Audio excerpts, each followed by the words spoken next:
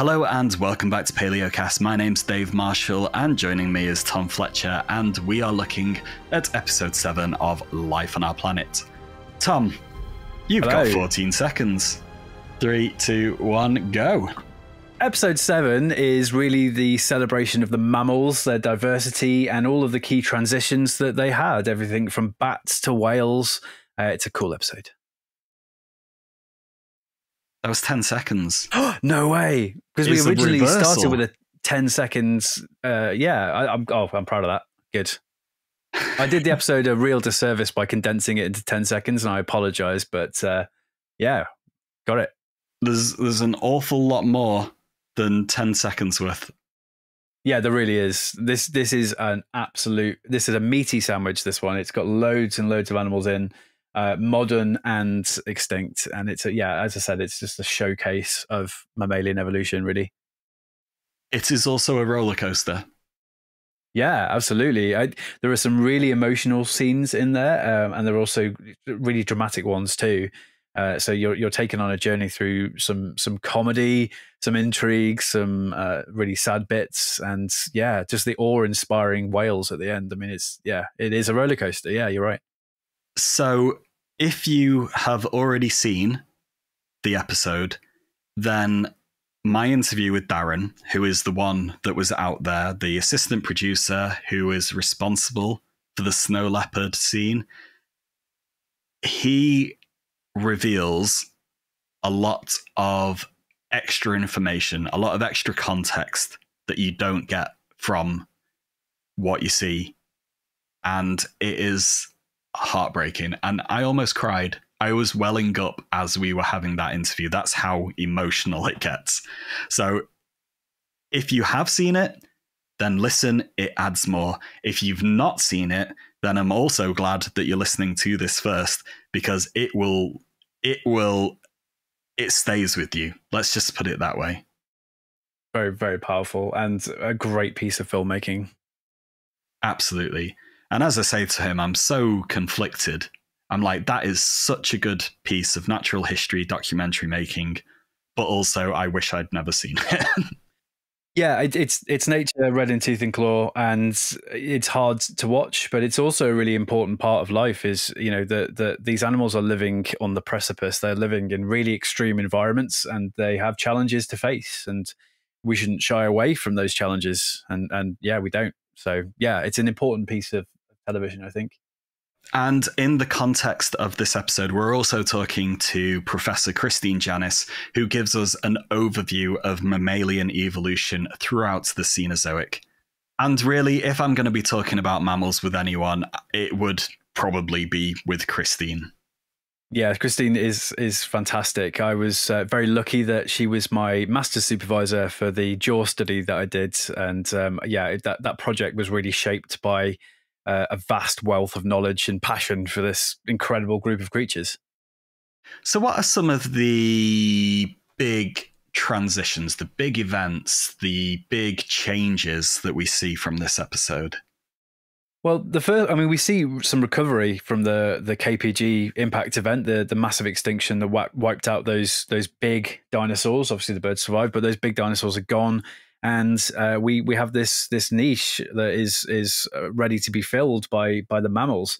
And so uh, we we start in the forests, and this is a nice example of where we've used modern animals to demonstrate a concept, a point that is important and that is that mammals are highly adaptable and uh, they're well suited to these these dense forests that would have existed after after the KPG after the recovery um, period. So mammals starting small and getting intelligent. We we go from uh, coatis in South America to to capuchins monkeys, capuchin monkeys. Um, and uh, some tool use there. Um, th- as animals, they are really charismatic and quite funny. Uh, and we we demonstrate some uh, some really nifty tricks that they've learned. Uh, I think there's a very strict definition of what tool use actually is, but uh, yeah, they're, they're certainly very intelligent and very resourceful. So that's probably one of the big things, really, especially relevant to us, is is the evolution of intelligence, the uh, the the building up of, of of a society, I suppose, really in these these little lovely monkeys.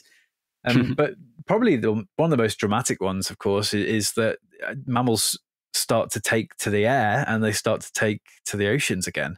Um, lots of animals are taken to the air before them. There was the the the birds, obviously, and we've got the pterosaurs, the now extinct pterosaurs at this stage in the series. And uh, it's it's mammals' turn to do that, and bats make up about I think a quarter of all living species of mammal. mammal. They're they're really successful, uh, and they do dominate the skies alongside the birds. They they are the night to the bird's day.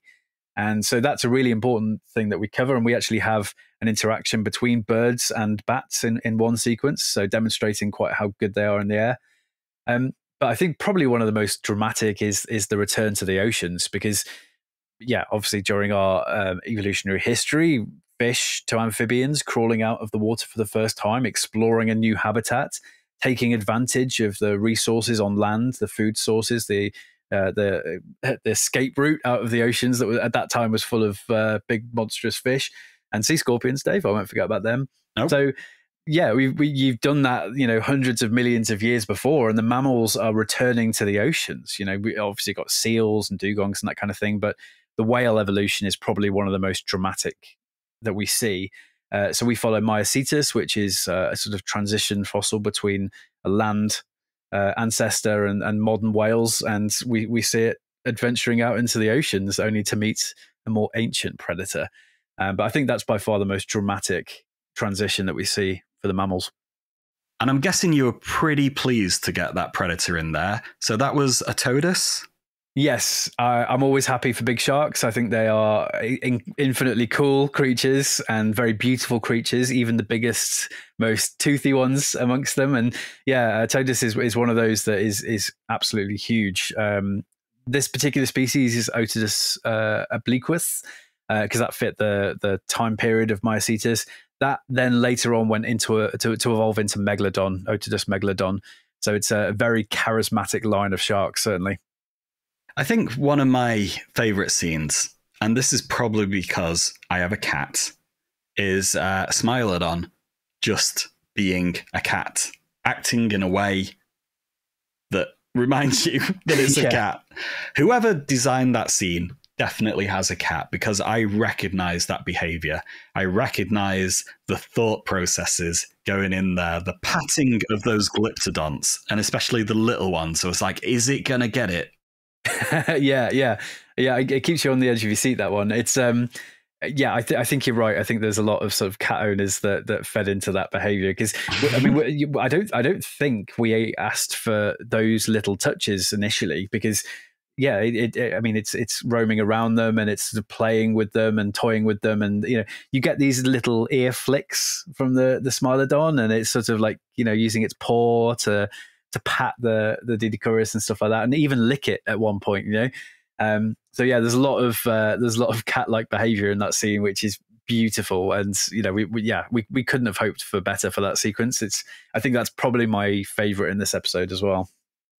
I also want to give a huge shout out to you getting circumpolar ocean currents into this. Thank you very much. Yes, um, we didn't shy away from the technical language when it was needed. Um, I think a really po- uh, important part of outreach is just recognizing the fact that, uh, especially something like paleontology, has a lot of jargon. Um, and that can be quite off-putting for people. But in this particular case, it, it's it's such a significant uh, beast. You know, I mean, it, it's it's one of the Earth's most important features at this time. It's starting to isolate Antarctica. Antarctica is starting to freeze, and with it taking all that moisture from the rest of the Earth, it's it's really one of the big causes of the drying out of these important biomes around Earth and you know perhaps fueling extinction. So yeah, we had to talk about it, and I'm glad we did because it's uh, yeah.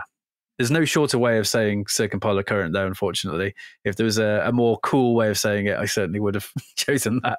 Antarctic roundabout. That's the one. Yeah, Antarctic water roundabout. Water roundabout, strongest current on Earth as well. The the world's biggest lazy river. There you go. Yeah. I, am guessing there'll be a bigger one. I'm sure the Pacific is. No, it's the fastest. It's uh, it, I, I, can't oh, remember fastest. the exact. The fastest and strongest. I think in terms of volume of water that moves uh, through, uh, especially that that piece of land. You know, you've got the um, Argentina and South America, um, and you've got Antarctica. Through that gap, it's it's going incredibly quickly. We need to uh, rebrand it Hey kids, do you want to go in the world's fastest lazy river? I don't think it would sell very well because it's too cold. Coldest river. Rebrand it. It's cool. Okay. you do that. I should have been in marketing. Oh, totally. Yeah. Yeah. All the puns. So sell me the rest of this episode. So after that point, after we talk about the uh, Antarctic circumpolar currents, we go on to talk about the effect it had on biomes. And uh, as I've just uh, you know, talked about, we, we, it's a drying, it's a, it's a removal of lots and lots of water from the uh, Earth systems, which means that we start to lose some of those lush rainforests and uh, get more grasslands. And animals that were adapted to eat broad leaves and, and soft soft vegetation, they they started to go extinct. And in this particular case, we talk about Megacerops, which is uh, I think they used to be called Brontotheres or Brontotherium, sorry. And these are absolutely massive things. They're they're three tons in weight, four meters long. Um, and yeah, they're absolute beasts. They sort of resemble rhinos, and we we channeled rhinos as, as some of the behavior in this with two of the males fighting each other. Um, and then the other important aspect of the spreading of the grasslands is that yes, it, grass had evolved uh, the, in the time of the dinosaurs, but those grasslands didn't really spread until about maybe 25, 20 million years ago when it was uh, dry and there were lots of fires ravaging uh, the, these great plains. And grass can grow from its roots upwards rather than most plants, which which tend to grow from the tips of their their branches. So grass was ready to take over, and with it came this slew of grazing animals that were uh, adapted to eating quite a tough vegetation, quite a tough medium and tough food. And of course, with the evolution of things like you know zebra and wildebeest and the ones that we know today, came the super fast predators to to prey on them. So really nice sequence with zebras and cheetahs and that leads really nicely on to uh, the the plains of South America and the Doedicurus that we talked about. And uh, yeah, that after that, it's it's talking about the extremes. Really, the the big cats especially are very adaptable, and uh, probably one of the most adaptable of all is is the snow leopard. So we we talk about the growth of the Himalayas. Uh, we talk about the effect that has on on climate. We meet the snow leopard in its native Himalayan home, and uh, yeah, we, we we know how that ends in that particular case. And yeah, having conquered the highest place on Earth, on, on land, we we talk about mammals taking to the air. So a bit of a flip back to the the earlier stages of the Cenozoic, talking about birds versus bats. And the other great transition, which is water, um, entering the water for the first time, going from land to water with the whales. And the the, uh, the I suppose the climax of the whole film is is following humpback whales as they they go through this kind of mating ritual where they they chase and chase and chase, and it's really quite violent. And the, the whole scene is is beautifully shot. And I think they had to invent a new stabilized camera just to get those shots because it's not the easiest thing to get a diver in the water following whales at whatever it is seven knots, you know. Uh, and right right at the end, we we meet possibly the most familiar mammal of all. A little a little sneak peek of episode eight as uh, some figures walk out of the snow it's a good way to end. It's a good cliffhanger. Mm. Exactly. Who could that be? um, Tom, you uh, you interchange zebra and zebra. I wasn't. Oh, I'm so sorry. I will write you a formal letter of apology, David. I, I apologize profusely, and I, would like to take this opportunity as well to apologize to all zebra and zebra that may be listening. They, like I, do not accept your apology. do better. Okay. Right. Um, so let's get on with episode seven. It's a great one. Lots of mammally information in there for you all. And uh, we'll be back in episode eight with some humans.